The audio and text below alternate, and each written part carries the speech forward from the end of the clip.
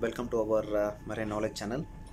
So this is uh, also a continuation of uh, daihatsu generator decarb series.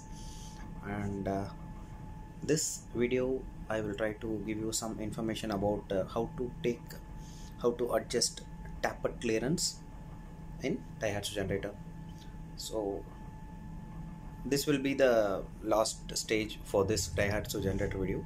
Almost we are done with uh, all the jobs so once this is done then uh, we are we can go for uh, doing tryout of the engine. So okay. We'll go inside the video. So before uh, starting to do uh, tappet clearance you have to bring the unit to TDC whichever unit you want to take the tappet you have to bring that unit to TDC so now I turn the turning gear and brought two units to TDC that is 1 and 6 so how you ensure that particular unit is in firing order? So there are two methods. One you can see the camshaft. This is your fuel cam and you can see the peak is down. That means this is not going to fire. So that means number one unit. This is the number one unit. That number one unit is not in firing order. So i open the number six unit and in this unit you can see the fuel cam peak is near the roller. That means this unit is going to fire. So this unit is the one that you need to do the firing.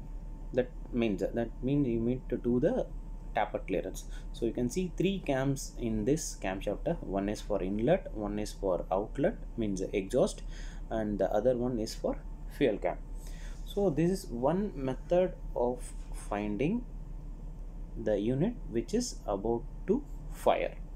So number one unit i showed you the fuel cam is the peak of that particular fuel cam is downwards. That means it is not going to fire.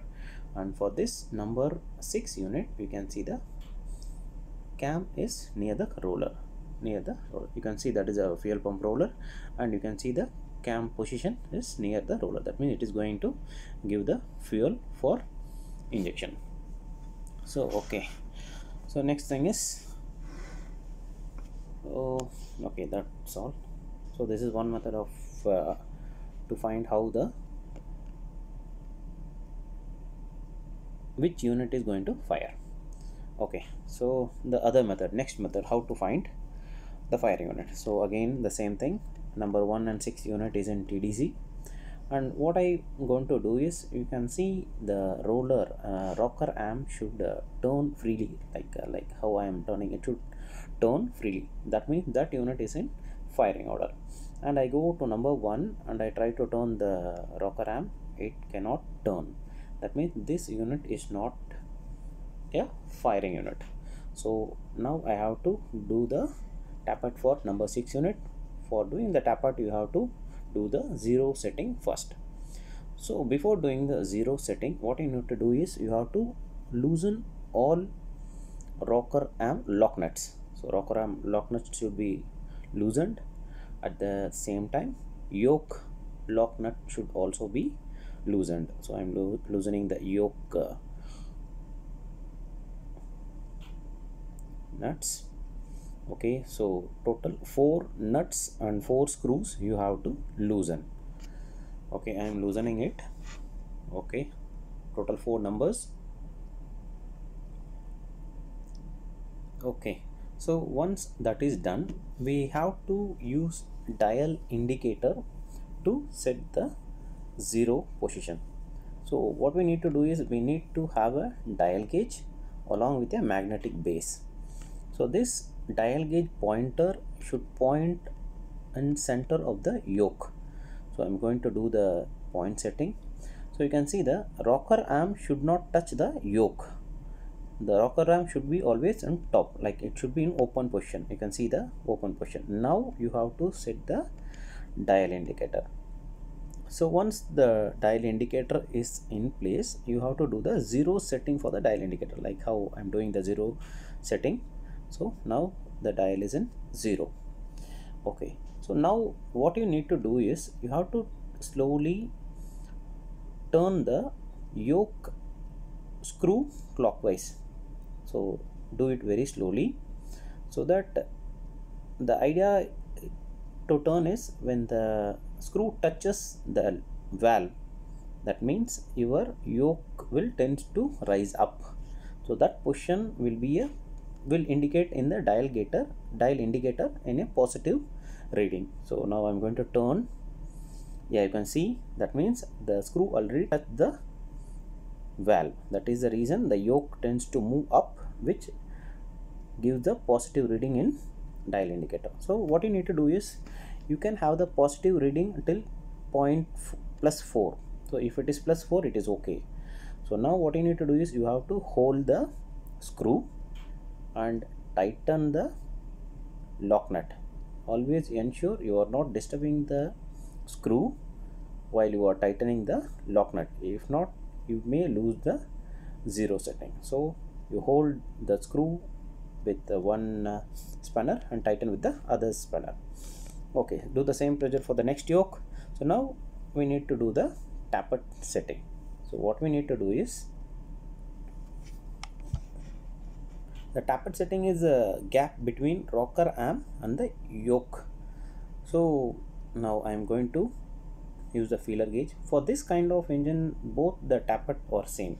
So what you need to do is initially you loosen the uh, screw and keep tappet in between rocker arm and yoke. So once it is done you can slowly turn the rocker arm nut rocker arm screw so that you can feel the feeler gauge going very very well like uh, yeah. So mean you should not allow the feeler gauge to go and come and out very freely. So it should go but it should not go very freely. That is the idea of uh, keeping the clearance. So once that is done you have to hold the screw and tighten the lock nut. So do the same procedure for the next rocker arm also next thing also. Okay i check one more time.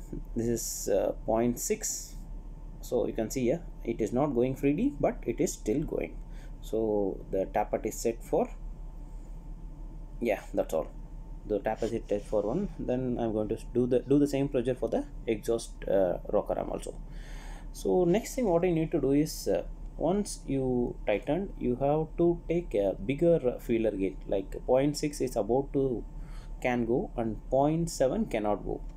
That means you have to check whether our tappet clearance is correctly set or not. That means 0.6 feeler gauge should go between the rocker arm and yoke and 0.7 should not go so right this is this can go and 0.7 cannot go. So that's all. So i'm going to do that. You can see yeah, i'm already we had set for 0.6 now i'm trying to fit 0.7 in it. You can see this 0.7 feeler gauge don't go inside. It don't go inside. Okay that means your tappet setting is right. Okay so once uh, tappet is done when the setting is done then you have to tighten the rocker arm lock nut and yoke lock nut with the help of torque tightening. Always you can uh, take the torque tightening uh, value from manual. Always follow that manual. Always use that torque tightening procedure. Like uh, I'm doing now. So first I do for the yoke do the tightening for the yoke lock nut.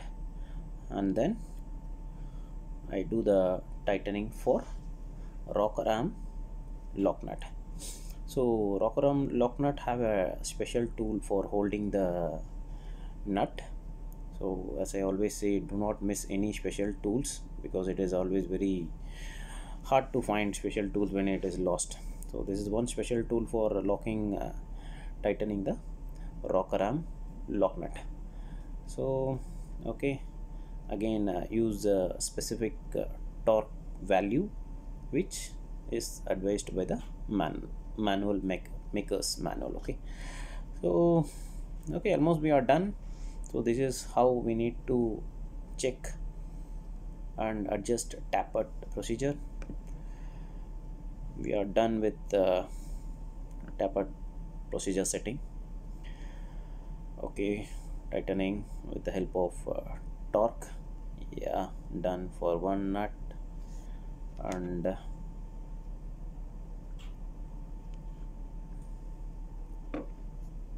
do the same for the other nut. Okay finish. So we are done with the tightening of all four uh, nuts. Two nuts for yoke and two nuts for rocker. Okay we are done. So after watching this uh, video you must have got some idea about uh, how to take how to adjust uh, tappet clearance. Hope uh, this Daihatsu video series must have given you some information about uh, Daihatsu decarb so almost we are done.